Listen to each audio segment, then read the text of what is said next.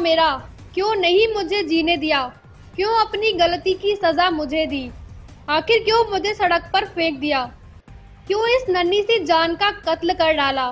क्या मेरा हक नहीं था इस दुनिया को देखने का? क्यों रखा था मुझे अपने ही गर्भ में, जब देनी ही थी मुझे मौत? ये सवाल हमारे नहीं, बल्कि उस मासूम के उस माँ से, जिसने इसे जन्म देकर उसे मार डाला और फेंक दिया सड़क किनारे कुत्तों का खाना बनने के लिए।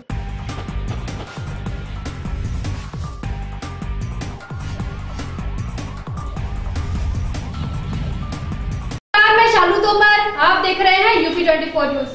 भ्रूण हत्या इंसानियत पर सबसे बड़ा कलंक है। बच्चे को दुनिया में आने से पहले ही मौत दे देना।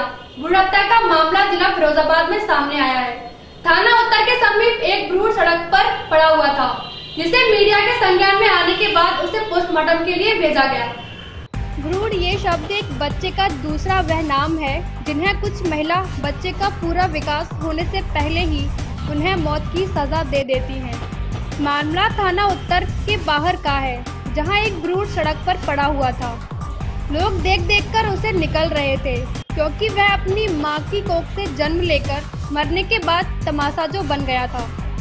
जब वहाँ मीडिया पहुँची तो थाना उत्तर पुलिस में भी हड़कंप मच गया। वह तमाशबीन बने भ्रूण पर सबको दया आने लगी। सब मन ही मन उसे कोसने लगे, जिसने इसे जन्म दिया। मामला सवेरे साढ़े दस पौने ग्यारह बजे का है। एक आवारा कुत्ता एक बच्चे को मुँह में दबा के लेके आया। हमारे अड़ोसी पड़ोसी ने देखा, हमारी दुकान सिनेमा चौराहे पर है, उसके थाने के पास, कुत्ता थाने का मैटर है ये।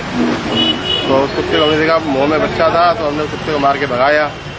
उसके बाद हमने थाने में सूचना दी साहब ऐसे ऐसे कोई आवारा कुत्ता एक बच्चे को लेके आया है, और उसको आ रहा था तो हमने बच्चे कुत्ते को भगा दिया। ऐसा क्यों हो रहा है? और आखिर क्यों ये भ्रूण हत्या हो रही है? सबसे बड़ा सवाल ये उठता है कि आखिरकार इन भ्रूण हत्या पर कब अंकुश लगेगा? कब वो लोग सुधरेंगे जो सिर्फ़ अपनी ज़रूरत पूरे करने के लिए उन्हें बच्चों को मौत के घाट उतार देते हैं, जिन्हें उनसे कोई लगाव नहीं रहता? थाना उत्तर के बाहर मिला ये भ्रूण भी किसी की अपनी ज़रूरत की लापरवाही है। सूत्रों का तो ये भी कहना है कि इस भ्रूण को कुत्ते खा रहे थे।